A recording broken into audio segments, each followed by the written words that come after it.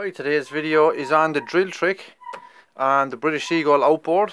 Um, a lot of people are having issues at the moment with with getting uh, getting sparked at Seagull.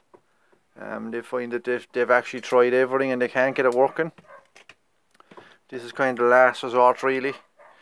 Um, just make sure you have a look at a couple of my other videos, particularly with the Y-Pack, how to clean the, the points, uh, the HT lead and your your plug and your inside the tip for the for the end of the the HT lead underneath the, the little base plate on the other side there. And what I like to do with these is is actually remove the cover. If it'll focus there now is remove the cover. Um, probably would have clean the points at some stage but to actually spray on a little bit of contact cleaner onto the points just just just right on it. Um, this way when you spin it up you can actually see the spark jumping across when it's a little bit a little bit wet from the the, the, um, the contact cleaner. Obviously check my other videos there with the, the points adjustment. Um, and how I make it up is I have I just have a, a standard Ryobi, Ryobi drill and I just made this I made this little piece here.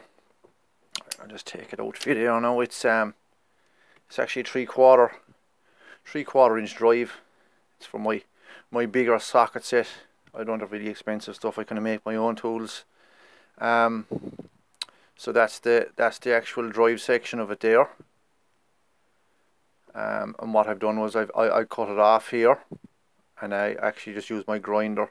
It's going to be a little bit wobbly but that's all I really have. I don't have any any proper tools for the job but it does fine. This probably done 30 or 40 of these spin ups there now for for seagulls. Um, that nut usually takes a 24 now there's a little bit of play but it, it won't it won't slip on it. If you have the bigger nut bigger top nut usually it's a 32 as I said, there's a little bit of play on it, but there's enough to get it spun up anyway, you know, it won't slip on it. Um, so I just tighten that back down into my drill. Try and get it as, as, as straight as I can. As I said, it's only done with a grinder. Put on my my socket. That's the smaller one for that one. I actually do it with the, the little plastic cover off of it and I just tighten down my my nut. Now on, on saving us old seagulls and things like that they've advised spin it up for five minutes which I suppose is the, is the best way to go about it with the I suppose you could probably do it with the carb on but I have the carb off on this one and I have it off for most of them. The carb off, the plug out and maybe put a little bit of small bit of engine oil or just like WD-40 stuff I have there just inside in the cylinder just to give it that bit of lubrication inside because it will spin up fairly quick enough. Um, spin it up for five minutes, reattach your lead um, and your plug and check for your spark then. Now you can actually check for the spark while it's spinning up but I'll just show you how I go about it first and I'll try and get, get, get you to see some of these little sparks inside. Just make sure you have your points set and cleaned and everything is set up before this is kind of a last resort. Hopefully she'll pick up the sparks now on this one.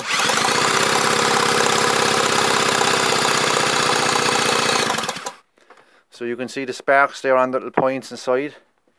So that'll mean she'll she'll probably push it out to the to the plug anyway. They'll that'll dry out there in a in a few minutes anyway.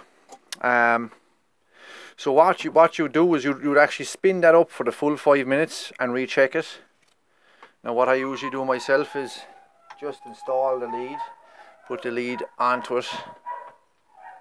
Um, I have my plug there and I have a little couple of crocodile clips there with it with a little lead in between it so it's just easy to hold it and easy to set it up.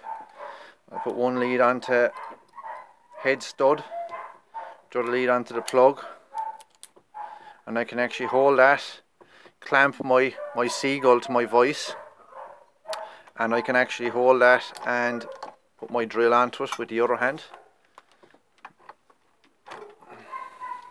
Obviously this is a, a clockwise motion as you would do when you're starting it.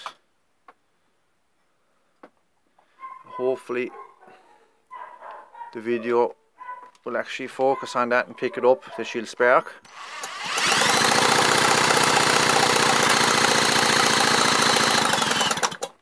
as you can see there's a great spark there a lovely blue spark there.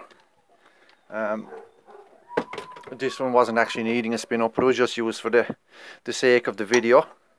Um, that is more or less it. Uh, spin it up for five minutes. Um, reattach your lead.